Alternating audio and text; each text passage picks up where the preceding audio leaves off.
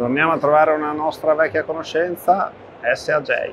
Torniamo a parlare di SAJ come l'anno scorso, ci ritroviamo Dopo di nuovo qui, esatto. Un anno dopo facciamo il punto, com'è andato il 2022? È andato bene, il 2022 è andato bene, è andato per quanto ci riguarda, vorrei dire in linea con le aspettative, in realtà è andato meglio delle aspettative.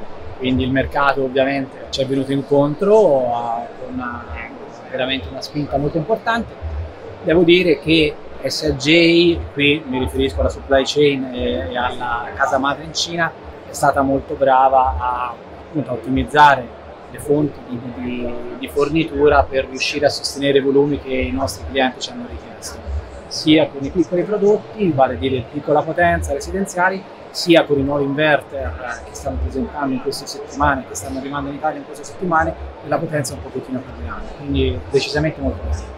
Ecco appunto, tempi di consegna ad oggi come, se- come siamo Ma i messi? tempi di consegna direi che per quanto riguarda la piccola taglia residenziale, sia con accumulo sia senza accumulo, quindi stiamo parlando di una taglia che è- ha già una storia, diciamo così, Sì, come certo. SJ fin dall'anno scorso, pianificazione fin dall'anno scorso, direi che se non parliamo di pronta consegna poco ci manca, quindi i nostri distributori hanno gestito il- la pianificazione dei volumi non soltanto prevedendo gli ordini ma prevedendo anche una eventuale eh, extra richiesta. Però. I prodotti invece che abbiamo presentato al mercato, le nuove linee, nuovi prodotti eh, a partire da quest'estate, quindi dall'estate scorsa, da, da luglio-agosto, la produzione è cominciata quindi rispetto ai precedenti un pochino più tardi, i tempi di eh, transizione, quindi due o tre mesi di consegna dalla Cina hanno evi- evidentemente avuto il loro peso, eh, ma stanno arrivando container del- dei nuovi trifasi, come dicevo prima, fino a 50 kW e entro fine anno arriverà i primi container della nuova serie da 100 kg. Quindi con volumi purtroppo per fortuna inferiori alle richieste, devo dire, però decisamente siamo già organizzati per cercare di rispondere e di dare un numero di, di- di- di- unità il più vicino possibile alle richieste. Quindi bene. Bene, bene, dai, non è da tutti quest'anno eh, riuscire a sostenere gran parte, gran parte, gran parte della- del successo, devo dire, comunque dei numeri che abbiamo ottenuto è stata data sicuramente grazie alla pronta consegna e alla disponibilità dei prodotti. Certo.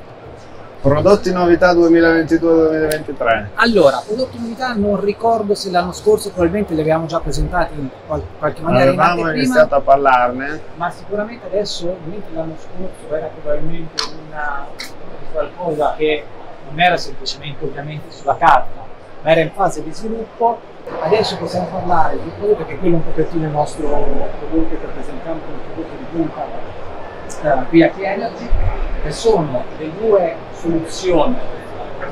Monofase alla, qui di fronte a me, che è la fase eh, di applicazione con accumulo eh, all in one, quindi dove l'inverno verrà presentato in modo superiore è integrato da un punto di vista di, di assemblaggio, dal punto di vista diciamo così architettonico, con i mobili batteria in maniera tale da dare innanzitutto un aspetto più compatto Una e diciamo anche più presentabile dal punto di vista del prodotto rispetto a quello che è l'H1 e inoltre la possibilità di poter ridurre grazie ai cablaggi preforniti, quindi già pretagliati, disponibili in maniera tale, già nelle confezioni, così che i vari moduli in inverter siano collegati già con tutti i cablaggi già presenti, riducendo con una stima tra il 35 e il 40% dei tempi di assemblaggio del prodotto classico inverter separato dal Certo, ah, diciamo, le caratteristiche sono quelle che già erano presenti nel prodotto ehm, monofase H1, quello che è sul mercato da più di un anno, Sì, quindi doppio MPPT, 50% in più della- del carico fotovoltaico rispetto alla potenza nominale di picco, eh, 15 A di per stringa, qui un miglioramento rispetto alla Per i moduli alta esatto, pot- per i moduli alta efficienza e potenza, cassetti mh, di batteria da 5.0 kWh ciascuno che possono essere impilati, quindi assimilati per un inverter fino a 5, quindi 25 kWh a 25 per kWh. fasi e 20 kWh per il monofase.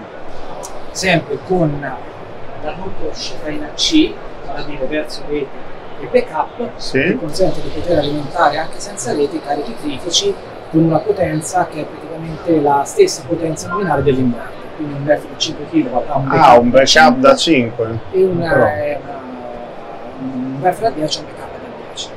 Tra l'altro la caratteristica del backup così come l'uscita verso la rete, è la gestione dello squilibrio delle fasi, quindi la possibilità di poter gestire eh, carichi differenti sulle varie Certo. fasi fino al raggiungimento della massima potenza, ma non eh, semplicemente lasciando un eventuale sovraccarico sulla fase capito. E mi consente di dire comunque una parola Sì? su quelli che sono gli inverter per applicazione commercial industrial, Sì? con la nuova linea R6 fino a 50 kW già disponibile, già acquistabile presso i nostri venditori e il, il prodotto anch'esso che ha già completato lo sviluppo e siamo in fase di produzione Sì? stiamo producendo in queste settimane diciamo, Quello che sta anno- arrivando.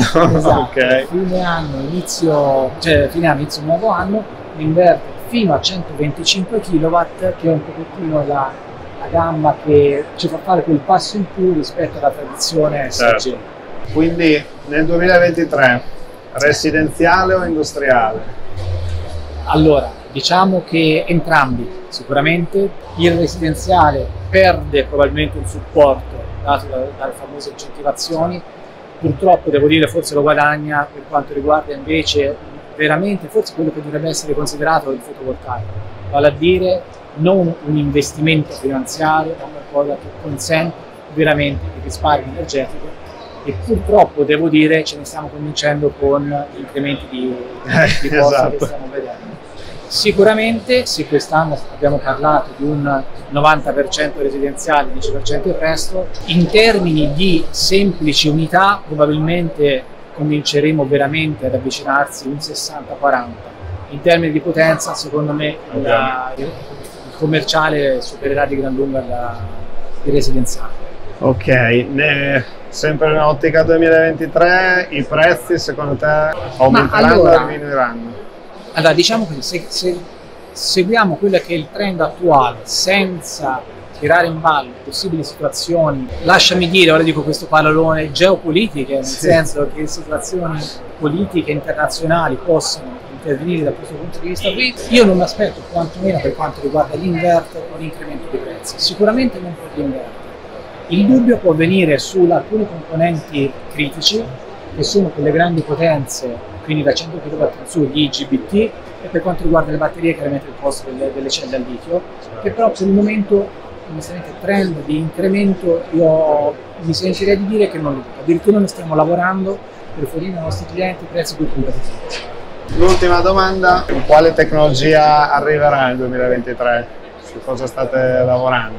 Allora, noi eh, SG deve fare alcuni passi ancora e lo sviluppo del commerciale e dell'industriale secondo me tracciano quella linea. Noi abbiamo due linee in questo momento, una è il prodotto hardware Sì. e quindi l'idea di incrementare il- la potenza andando oltre 125 kg, magari con un primo step ideale di 250.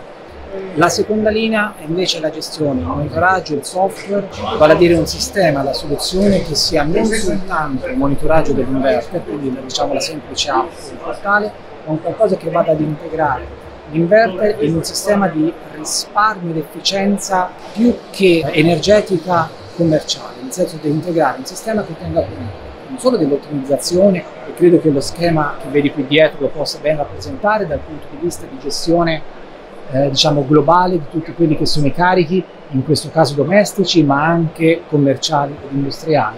Sì. Quindi con un sistema che tiene conto della produzione, che tiene conto dello storage, ma che tiene conto dei consumi, attivando o disattivando in funzione della effettiva disponibilità e convenienza le varie utenze. Prese smart.